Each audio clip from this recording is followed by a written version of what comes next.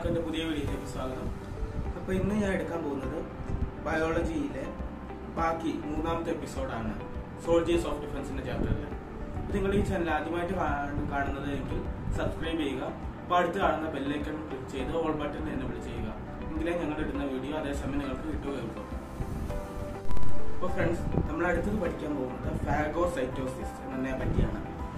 Phagocytosis എന്ന് പറഞ്ഞാൽ വിഴുങ്ങുന്ന ഒരു പ്രോസസ്സ് ഞാൻ പറഞ്ഞിട്ടില്ല ന്യൂട്രോഫിലും മോണോസൈറ്റും ന്യൂട്രോഫിലും മോണോസൈറ്റും ഇങ്ങനെ വിഴുങ്ങുന്ന ടൈപ്പാണ് എൻഗൾഫ് ചെയ്യുന്ന ടൈപ്പ് ഡബ്ല്യു ബി സി ആണ്. അപ്പോൾ അവരൊക്കെ വിഴുങ്ങുന്ന ആ പ്രോസസ്സ് അതിനെയാണ് ഫാഗോസൈറ്റോസിസ് എന്ന് പറയുന്നത്. ആ ഫാഗോസൈറ്റോസിസിൽ എന്താണ് സംഭവിക്കുന്നത് എന്നാണ് ഇവിടെ പറയാൻ പോകുന്നത്. ഈ ഫാഗോസൈറ്റോസിസ് ചെയ്യുന്ന ആ ഇത് ഡബ്ല്യു ബി സിയെ വിളിക്കുന്ന പേര് ഫാഗോസൈറ്റ് എന്നാണ്. അതാണ് ഈ വാക്കിന്റെ അർത്ഥം. ഫാഗോ എന്ന വാക്കിന്റെ അർത്ഥം ടു എൻഗൾഫ് അതായത് വിഴുങ്ങുക.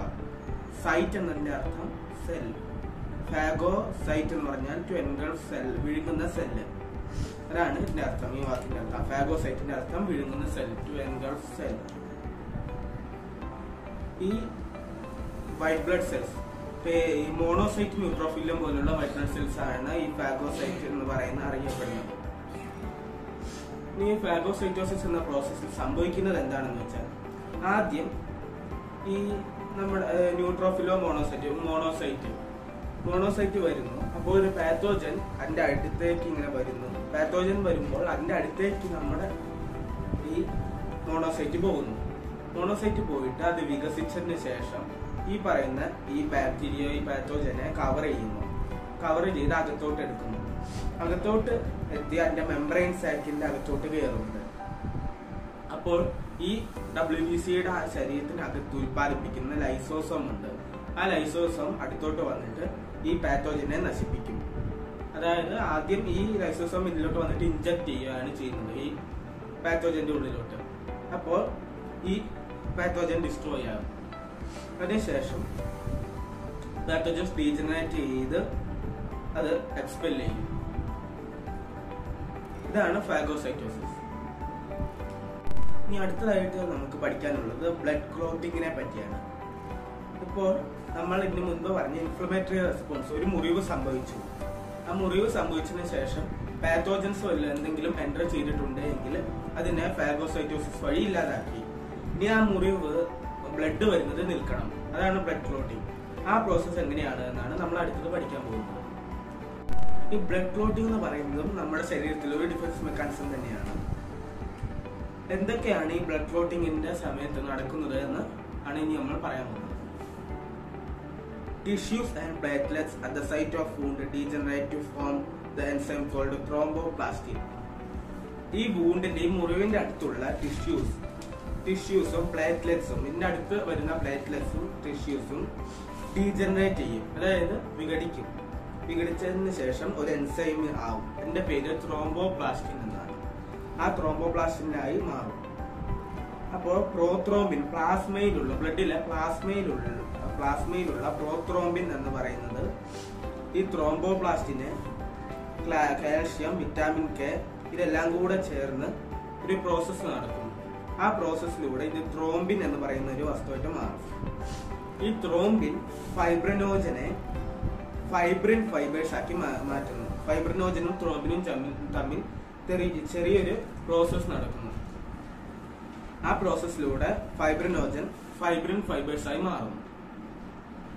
ആ ഫൈബ്രിൻ ഫൈബേഴ്സ് ചെയ്യുന്നത് ഈ ബ്ലഡ് പോകുന്ന ആ മുറിവിന്റെ ഭാഗത്ത് ഈ ഫൈബ്രിൻ ഫൈബേഴ്സ് കുറെ എണ്ണം ലക്ഷക്കണക്കിന് പോയിട്ട് ഒരു വല പോലെ കിട്ടും. ആ വല പോലെ കിട്ടുമ്പോൾ ആ red blood cells white blood cells ഇതെല്ലാം വന്ന് അവിടെ അടിഞ്ഞു കൂടും. ആ അടിഞ്ഞു കൂടുന്നതാണ് ബ്ലഡ് ക്ലോട്ടിംഗ് എന്ന് പറയുന്നത്. The red blood cells and platelets get entangled in the network of fibrin fibres to form the blood clot ഇനി നമുക്ക് അടുത്തതായി പഠിക്കാനുള്ളത് ഹീലിംഗ് ഓഫ് വോൺസ് അതായത് ബ്ലഡ് ക്ലോ മുറിവ് സംഭവിച്ചു അകത്ത് കയറിയ പാത്തോജനെ എല്ലാം ഡിസ്ട്രോയ് ചെയ്തു ബ്ലഡ് ക്ലോട്ടായി ഈ ബ്ലഡ് ക്ലോട്ടായി അതേപോലെ അവിടെ ഇരുന്നാൽ മതിയോ? പോരാ. നമ്മൾക്ക് നമ്മുടെ കൈ പഴയ പോലെ കൈയല്ല ശരീരഭാഗം പഴയ പോലെ ആയി കിട്ടണം. അപ്പോൾ അതിനു വേണ്ടി ഹീലിംഗ് ഓഫ് വൂണ്ട് മുറിവിനെ മുറിവിന്റെ അടിയിൽ തൊലി പോയിട്ടുണ്ട് എങ്കിൽ അത് പഴയ പോലെ ആക്കുക. അതായത് ഒരു സ്ഥലത്ത് എന്തെങ്കിലും നഷ്ടപ്പെടുമ്പോൾ അതിനെ സ്പെയർ പാർട്സ് വെച്ച് നമ്മൾ അഡ്ജസ്റ്റ് ചെയ്യൂല. അതേപോലെ തന്നെ ചെയ്യുന്ന ഒരു പ്രോസസ്സാണ് ഇത്. ഇപ്പോൾ ഹീലിംഗ് ഓഫ് വൂണ്ട് നടക്കുന്നത് ഇൻഫ്ലമേറ്ററി റെസ്പോൺസും ബ്ലഡ് ക്ലോട്ടിങ്ങിനും ശേഷമാണ്.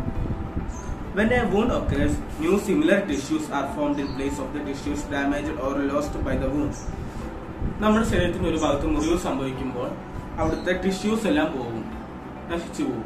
അപ്പോൾ അത് ബ്ലഡ് എല്ലാം ക്ലോട്ട് ആയതിനു ശേഷം ഇതിന്റെ മുകളിൽ ഒരു കവറിങ് വന്നതിന് ശേഷം അകത്ത് അതിന് പകരം ഈ നശിച്ചു പോയ ടിഷ്യൂസിന് പകരമായിട്ട് പുതിയ ടിഷ്യൂസ് വന്ന് ആ ഭാഗത്തെ ആ വിടവ് നികത്തുന്നു. ഇത് ചെറിയ മുറിവ് എന്തെങ്കിലും ആണെങ്കിൽ അതിന്റെ അടുത്ത് തന്നെയുള്ള ആ ശരീര സ്കിന്നിന്റെ ഭാഗത്ത് നിന്ന് തന്നെ ടിഷ്യൂസ് എടുത്തതിന് ശേഷമാണ് ഈ സ്കിൻ പഴയ പോലെ ആക്കുന്നത്. ഇനി അഥവാ വലിയ മുറിവ് എന്തെങ്കിലും ആണ് അതിന് കണക്റ്റീവ് ടിഷ്യൂസ് വേറെ ഭാഗത്ത് നിന്ന് എടുത്തതിന് ശേഷം അതിന് വേണ്ടി പ്രത്യേകം ടിഷ്യൂസ് ഫോം ചെയ്ത് നമ്മൾ ഈ മുറിഞ്ഞ ഭാഗത്ത് പഴയ പോലെ ആക്കാൻ ഉപയോഗിക്കുന്നത് അതുകൊണ്ടാണ് ചില ചില സമയം വലിയ മുറിവുകളൊക്കെ ഉണ്ടായി ഉണങ്ങി വരുമ്പോൾ നിറം മാറ്റം. ചിലയിടത്ത് ലൈറ്റ് ആയിരിക്കും ചില ഡാർക്ക് ആയിരിക്കും. നമ്മുടെ മുട്ടിലൊക്കെ സാധാരണ അങ്ങനെ സംഭവിക്കാറുണ്ട്. കളിക്കുന്നതിനിടയ്ക്ക് എപ്പോഴും വീഴാ വീഴാറൊക്കെ ഉണ്ടാവും. അപ്പം അത് മുറിഞ്ഞു കഴിഞ്ഞ് അത് ഉണങ്ങി ഒറ്റയൊക്കെ മാറി വരുമ്പോൾ അവിടെ ഒരു വെള്ള കളറായിരിക്കും. നമ്മൾ സ്കിന്നിന്റെ സാധാരണ കളറായിരിക്കില്ല കുറച്ചുകൂടി ലൈറ്റ് കളറായിരിക്കും ഉണ്ടാവുക.